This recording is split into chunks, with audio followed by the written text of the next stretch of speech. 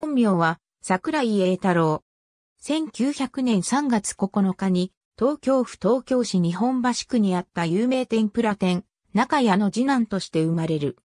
小学校を卒業後に酒問屋へ奉公に出たが、そこへ出入りしていた広角科の医師に出羽の海部屋を紹介されて入門。1917年1月場所で初土俵を踏んだ。あんこ型のタンクだが、金星の取れた体格で、鋭い出足と巨腹を活かしての釣り、よりを得意とした。スロー出世だが着実に力をつけ、1922年5月場所で新重量昇進を果たした。この直後に出羽の海が死去したことで、出羽の海にとっては最後の関取となった。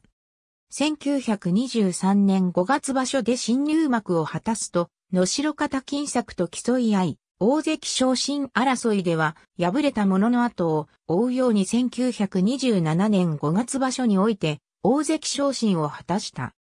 同年10月場所では野城方にこの場所唯一となる黒星をつけたことで、この場所が野城方と合わせ星だった常の花監視の幕内最高優勝の援護射撃となった。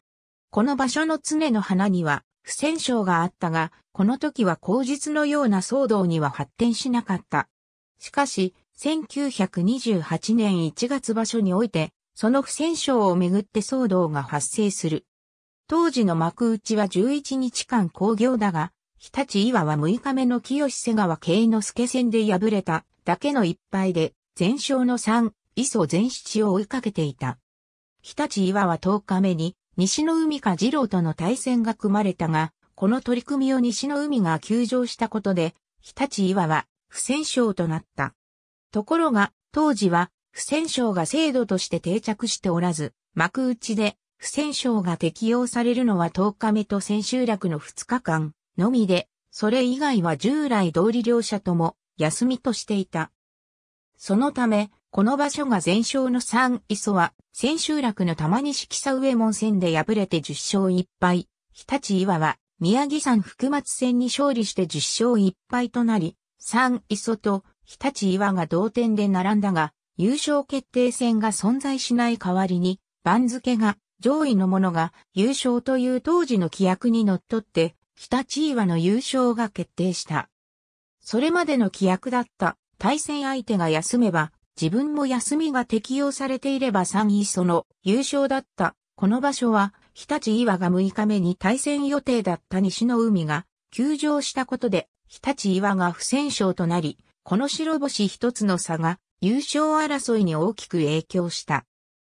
ただ、この状態では優勝決定戦が存在しなかった当時の感覚では、いくら全勝で優勝争いを牽引してきたと言っても、幕尻から2枚目の力士が小結と割が組まれるのは不自然な話で、相手力士の休場による不戦勝と土俵上で勝負した上での白星を同等に扱うか、田舎の規制もなし、さらに不戦勝制定以前の時代だったことで、人気力士だった日立岩が、三磯の講演者からのクレームもあって、悪者扱いされた。これに対して、日立岩が、三磯関へ譲りたいとまで言ったとされる。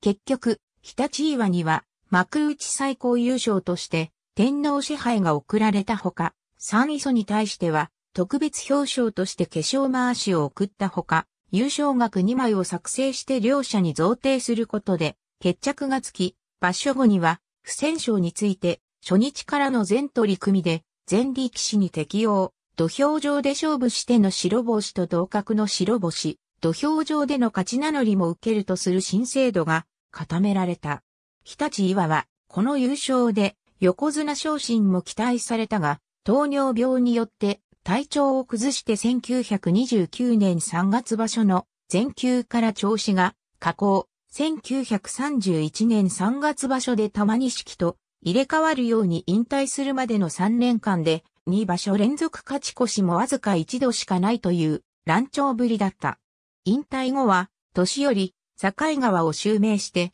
出羽の海部屋で、更新の指導に当たったほか、新聞に相撲表を書いた。木戸部長や桟敷部長を務めた。1957年7月21日に、狭心症のため死去、57歳没。AB ベースボールマガジン社、大相撲名門列伝シリーズ、出羽の海部屋、春日野部屋、2017年、BB ムック P23 さらに、現在のように、不戦勝利騎士が土俵に上がって一礼した後に勝ち名乗りを受ける仕組みではなかった。現在なら幕尻でも場所後半まで優勝争いに加わるほどの好成績を残して入れば割を崩してまでも三役力士や横綱と対戦させる場合は十分あり得る。最近では2000年3月場所で高通力忠重が前頭14枚目に位置していながら13日目に武蔵丸光弘14日目に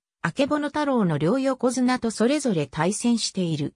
高通力はこの場所13勝2敗で史上初の幕尻での幕内最高優勝を達成している。ありがとうございます。